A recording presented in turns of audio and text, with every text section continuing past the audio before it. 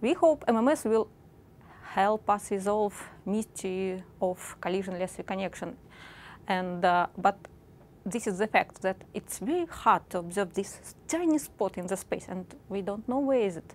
So we hope to see it, but the more interesting problem um, for us is to study reconnection exhaust. So each reconnection generates something, some flow, and this flow goes to the Earth and we can observe. So uh, we have different scenarios of reconnection. And for each scenario, we hope we will observe some particular features of this flow. So our aim is try to identify reconnection mechanisms studying these flows. So in our peak simulation, we can do everything. We can, we can model uh, electron distributions, ion distributions, pressure, uh, whatever uh, MMS can observe. And uh, because MMS is going to resolve electron scale, I think this is, will be especially important for us. So we are hope to understand differences between different reconnection scenario from our simulations and then apply this to MMS.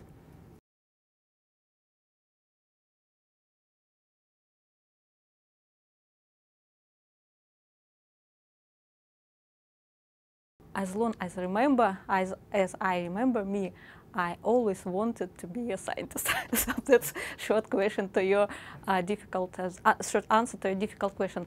Uh, but uh, more specifically, um, I think, well, that was a long way. I went to uh, to special school with uh, physics and mathematics in Belarusia, where I was born, and then I moved to Moscow Institute of Physics and Technology, uh, where I also was involved in in um, in scientific work from from last uh, last years of uh, university. And then I, I, I, got an appointment at Moscow Space Research Institute, where uh, there were a lot of wonderful people uh, pioneers of space, air, and uh, it's just impossible. If you if you if you if if you every day meet these people, you just cannot be.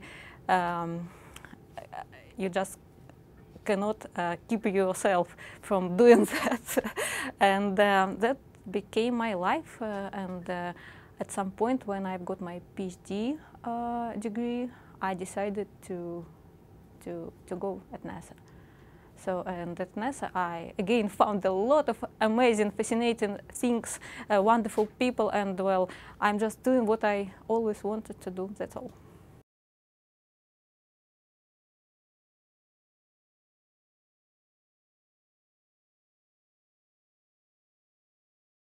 I think there are a lot of things that may, may uh, attract young people. Uh, for me, Okay, there are several things, so I will try to list them. First, you always have support from uh, brilliant, uh, brilliant people around you, and uh, this is very important. Every day you spend with uh, wonderful, uh, wonderful, nice uh, people who help you, who support you in your in your in your um, in your everyday tasks. That's very important. The other thing and this is I think this is especially true for science job. Um, you have a big chance to observe or to find something which was never observed before. So, and this is um, just um, fascinated moment if you understand something, maybe very small, maybe very, very small, a tiny piece of nature, but nobody uh, seen that before.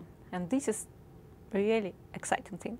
And uh, uh, I think young people might try to do that and they will find, yes, it works. And then they will never stop.